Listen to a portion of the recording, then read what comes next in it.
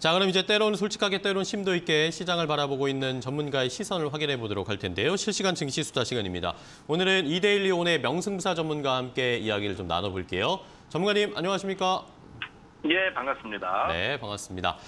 자, 최근에 시장이 그래도 뭐 강한 상승은 나오진 않더라도 어느 정도 하방 경직성은 좀 보여주고 있습니다. 지지선이 좀 보이고 있는데 어, 외국인들이 좀 코스피를 매수를 하면서 분위기가 달라졌다라는 평가가 나옵니다. 어떻게 보세요? 전문가님은 지금 바닥이라고 보십니까?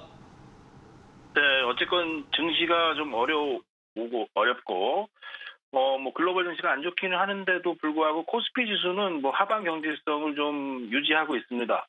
어, 중요한 거는 이제 미국이 하락하면 오히려 우리가 오르고 미국이 또 이제 상승을 주면 오히려 외국인들도 좀 차익이 나오면서 단기적으로 오히려 눌려지고 있는데요.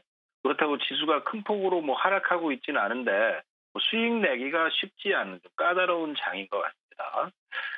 자, 근데 뭐, 어, 제가 볼 때는 뭐, 저, 바닥권이다 좀 말씀을 좀 드려보고 싶고요. 증시가 저, 작년에는 상당히 좀 과열되었었죠. 뭐, 3,300까지. 코로나가 오고 나서 뭐, 1,400, 1,500까지 비해서 3,300부분까지 뭐, 단숨에 올랐죠. 코스피 지수도. 그래서 이번에는 한 2,800 부근까지 어, 하락을 주면서 과열을 좀 많이 시켜주었다고 봅니다. 그, 그, 지난 이 방송에서도 제가 이제 외국인들이 언제 들어오냐라는 질문에 뭐 때가 되면 들어올 것이다 말씀을 좀 드렸는데요. 어, 거의 뭐 1년간 외국인들이 안 들어오다가 어, 외국인들도 한 2,800 부근 정도에서는 매수를 강하게 하는 걸 보면요. 아, 그들이 결국 이제 싸지면은 외국인들도 매수를 동참하는 것 같습니다. 그러니까 외국인들은 주식시장이 싸지면 들어오고 있는 것 같다. 자, 근데 이제 한국 투자자들이 그렇다고 이제 미국이 좋다고 많이들 가는데 오히려 이제 외국인들 입장에서는 본다면은 한국이 좀 매력적인 시장인 것 같습니다. 별로 오른 게 많이 없고요. 어, 또 이제 수출도 잘 되고 있는 반면에 어, 주가가 좀 싸다는 장점이 있죠. 어, 생각해 보면요, 뭐 테슬라 하나 팔면 한국 증시를 다 살 수 있다라는데 이게 말이 됩니까? 그래서 한국 증시도 좀 올라가야 되지 않을까. 그래서 작년 6월 고점을 만든 증시가 이제 상당한 조정을 받았다면요. 저는 충분한 메리트가 좀 있지 않나 이렇게 좀 생각을 하고 있습니다. 네.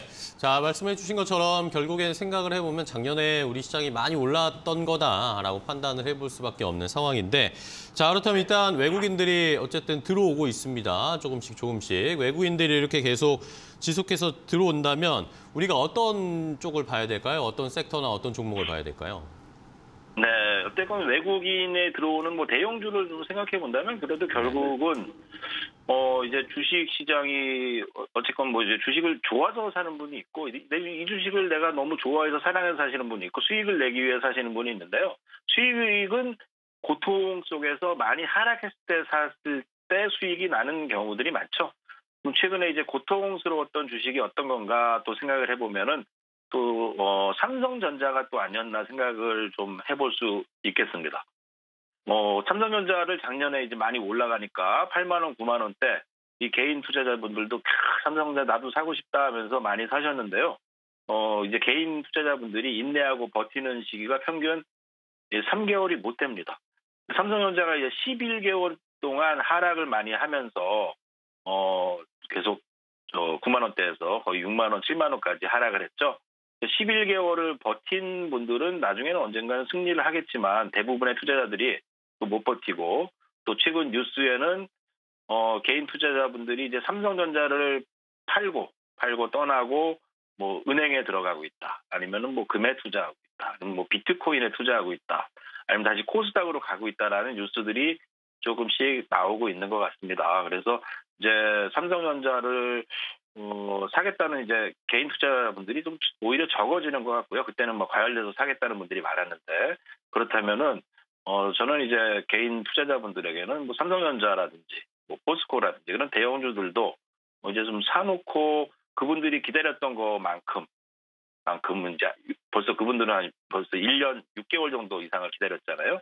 그렇다면 이제 사놓고 좀 기다린다면은 어 그분들이 이제 손실 본 것만큼 덜 손실 볼 수도 있고 또 외국인들도 오히려 뭐 삼성전자 같은 경우 이제 저점에서 뭔가 매수세가 어, 몇백만 원씩 좀 들어오고 있다는 것을 본다면은 어, 지금이 뭐 투자하기에는 좀 좋은 시기가 아닌가. 뭐 과열된 시기가 아니라요.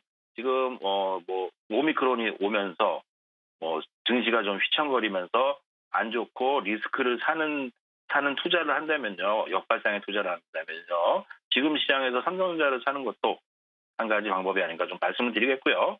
뭐 장기로 본다면 삼성전자는 상승을 하고 있습니다. 장기로 상승을 하는데 이 주식이 이게 연봉 연봉이라고 그러죠. 이 연에 따른 걸 보면은 너무 과하게 오르면요. 1년씩 2년씩 조정을 해요. 근데 장기로 보면은 우리나라에서 가고 있는 몇 안 되는 종목이기도 합니다. 그래서 어 올해는 작년에는 많이 올랐고 올해는 이제 음봉이 나와서 뭔가 조정이 들어왔지만 저는 이제 내년 정도부터는 그래도 다시 한번 삼성전자도 연봉이 이제 상승으로 좀 돌아가지 않을까 좀 판단을 하고 있습니다. 그래서 앞으로 뭐 어, 환율 가치도 좀 좋아질 것이고 또한 이제 미국에서 삼성전자가 새롭게 이제 공장도 증설하게 되면서 어, 또 외국인들의 시각도 좀 좋아지면서 어, 실적도 증가하게 된다면요. 뭐 우리나라에서 그래도 살아남는 기업, 세계적인 기업인 삼성전자가 대표 종목으로 또 증시를 좀 이끌 확률도 있다. 그래서 저는 위기 때마다 위기엔 삼성전자를 사라. 그렇게 좀 조언을 좀 드려보고 싶습니다.